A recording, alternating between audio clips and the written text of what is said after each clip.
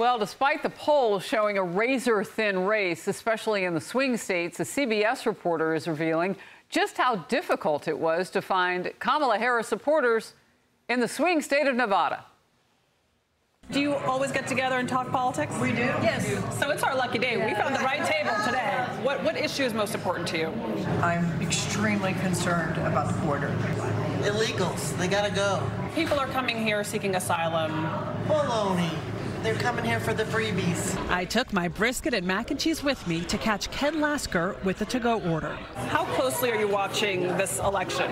Oh, very closely. He was the only Harris supporter we met at lunch, even though Washoe County has historically been pretty politically split. We had Like that. so much fun. But what was really incredible is in every single restaurant of the people willing to talk to us, we could only find one Harris supporter in every restaurant. And we left no stone unturned. I approached every single person.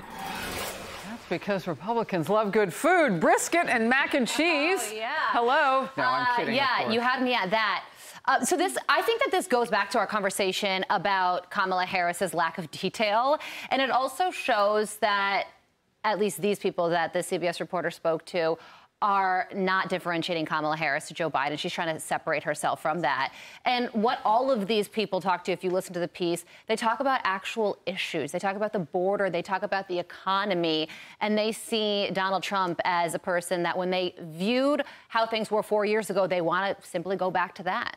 You know what? You bring up a really good point. And, and Kayleigh, I would say this is one of the things uh, that the Trump campaign has done successfully, and that is the Biden Harris connection. Mm-hmm. And they had their work done for them because Biden kept saying that she was always the last person in the room on every big decision that affected Americans. And she and her team have been saying there's no daylight between them. Until recent, she doesn't talk about them as much, and it looks like there's a little distance there. But we had three and a half years of how simpatico they were. Mm-hmm. And I, I think you're onto something there. Yeah, and they will not allow Kamala Harris to escape the Biden label. When I say they, the Biden White House, Karine Jean-Pierre said she was a part of this, you know, every single step of the way.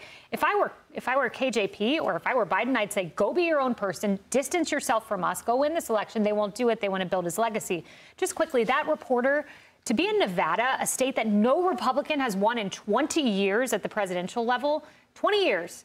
And then to go to restaurants and only be able to find one Kamala Harris supporter, I know it's anecdotal, but the polls are not anecdotal, and it is a margin of error race in a state Republicans haven't won in 20 years. It's also really hard to go anywhere, Tom, without seeing people talk about politics right now. You'd love to go have a meal where people weren't talking about it. So people are, you know, they'll they'll be open with you about where they stand right now because they're so used to having it come up, and they're seeing all the ads in those swing states. Yes, that's why I wouldn't go by any one report. You say, oh well, maybe there was a bunch of Republicans there at uh, you know at the at the luncheon place, but it feels different this time around. I am not a polls guy. They drive you crazy. You read these polls every day. People get nervous. They're biting their nails. I tell you, what does it feel like out there? It feels like people are not buying the Trump is an evil dictator thing anymore.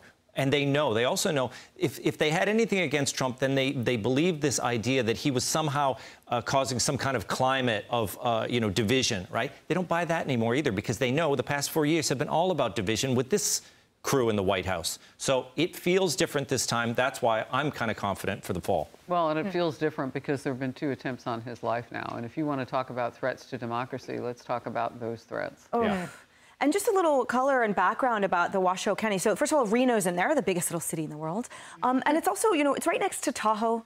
It's a, it's a, it's it's a place where it, it's gorgeous and it feels rural, but it's a hustling, bustling county at the same time. And I want to point out that in 2020, the Democrats won in the in the presidential race. It was a little over 51 percent. It was almost it's a little over 50 percent, almost 51, and that was Democrats, and Republicans were just over 46.